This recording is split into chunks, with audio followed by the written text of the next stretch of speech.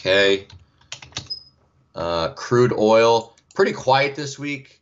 Um, you know, I'm kind of cautiously looking lower. We had a real clean five wave drop here, and then we've had a corrective bounce.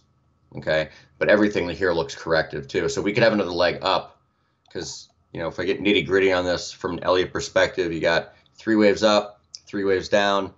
You get another you know rally here. That would be a what we call a, a flat. Or we looked at an expanded flat in Aussie earlier. We could just have a, a, a regular flat here where you don't take out the low um, or the origin of, of A, what have you. So A, B, C, maybe one more pop, surprise rally, and then lower. Uh, but yeah, crude not especially clear to me at the moment. And finally, let's take a look at indices. And really, only thing I'm paying attention to uh, up here is S&Ps because I'm looking at this, you know, expanded uh, diagonal, expanding diagonal, excuse me. Um,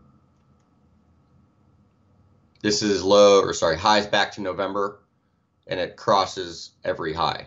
I mean, it's an extremely well-defined line, and that's going to be in the 4140s, depending on when you get there. You know, if we get there, if it takes longer, it might be 4150, but just follow this line, okay? So, as you know, uh, or should know, I am uh, working with Scandinavian Capital Markets as the chief technical strategist. Uh, we're based in Stockholm. Uh, Scandinavian Markets is a market maker, and we are looking for profitable traders to join our ranks. We have clients all over the globe uh, that are looking for more strategies to invest in. So if you are a profitable trader and you would like to get into the money manager world, um, you know, all goes according to plan and things go well, you can get your, uh, you know, you can get your strategy funded with up to $2 million. Okay.